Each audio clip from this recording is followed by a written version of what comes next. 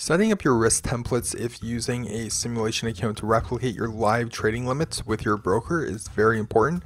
We're going to show you what you should be doing if you plan on using a demo or simulation account.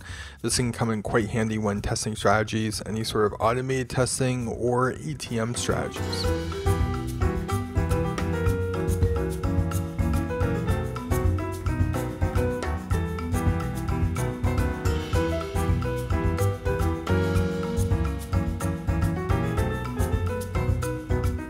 Risk template is going to define what your maximum risk per instrument or account would be.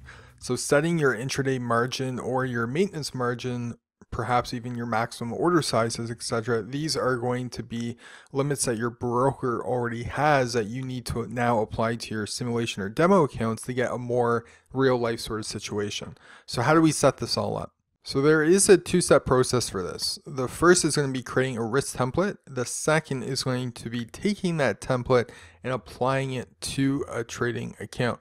So this is going to be for a simulation or a demo account that you will be applying it to because with a live account, your broker already has these limits set. This way you can have a different risk template for different simulation or demo accounts. Let's first set up a risk template. Open up your NinjaTrader 8 Control Center window and at the top of the menu, click the Tools button. After that, scroll down to where it says Risk. And by default, there's going to be a NinjaTrader brokerage default, but we're going to create our own by clicking Add in the bottom of the template section. So I'm going to call this one simulated account. You can name it whatever broker account you might have, and we'll use this one on a demo account. Okay, so if you're not sure how to set up demo accounts, be sure to check out the video in the description below about setting up your own simulation or demo account. And now for the somewhat tedious part, we're going to add in instruments one by one, depending on how many instruments we trade, uh, this could take a long time or it could be actually quick and painless. So to demo this, we're going to use the ES futures contract. In the instrument window, we can search for it or we can just type it into the instrument window.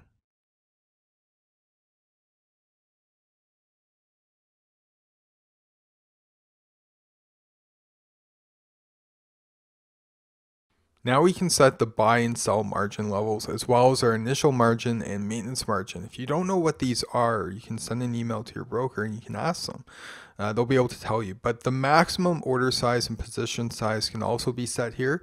And if any of these terms do not sound familiar, we're going to explain them here in about 10 to 20 seconds. The buy and sell intraday margin is how much is required in your account to hold the position. So for example, if you had 100K in your account and you place $10,000 uh, future contract and the margin requirement is 10% of that instrument, then you have to hold $1,000 in cash in your account and that will be reserved. Now, if the value of that instrument drops where only your, your basically your uh, $1,000 would be left, your margin, then that's what they call a margin call and your position gets liquidated. So some brokers require you to have an initial margin on the account and then further they might require you to have a maintenance margin level, okay? Or they might have maintenance and not an initial. So the initial one is when you deposit your funds, what is going to be required by your broker to hold on to a certain percentage and then your maintenance margin is going to be per instrument. Now, just a little FYI, uh, for futures, the minimum margin is 25% of the value of the instrument. That means that brokers have to maintain that as a minimum, uh, if not higher. Okay, so be sure to check with your broker what the values are for you, as this can also sometimes be between the ranges of 30 and 40%. The last section should be pretty easy. Okay, the maximum order size when you place your trade and your maximum position size. Okay, so for example, your maximum position size might be six contracts. Then you can have a limit of two contracts for the maximum order size, and that would be allowed to place three trades uh, on that uh, one instrument for the six contract maximum. So we'll press OK twice to get out of this and we are going to hit your accounts tab. Now you can see a list of your accounts here and then we're going to select the simulation account you plan to work with by right clicking on it.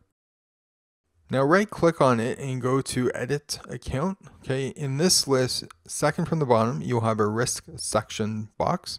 Okay, click that down arrow there and select your risk template to apply it to this account.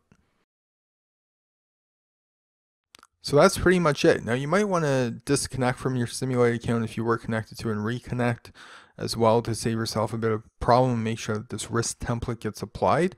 And what I'm going to do now is I'm going to set a trade for seven contracts on the ES, which is above my maximum that I put in there of six.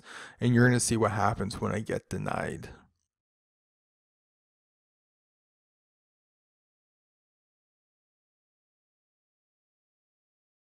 There you go. Now risk templates uh, can only be used on a demo account because they're actually um, being handled by the broker on a live account. So if you enjoyed this video and learned a thing or two, slap that like button. We always appreciate it and love to hear from you. Send any questions that you might have. Put those in the question box below. Also, we have two free tools for NT8, one that draws news events on your charts and the other one puts a price line at your bid and ask prices and they're both totally free. You can get them at xabcdtrading.com and look forward to seeing you guys in the next video.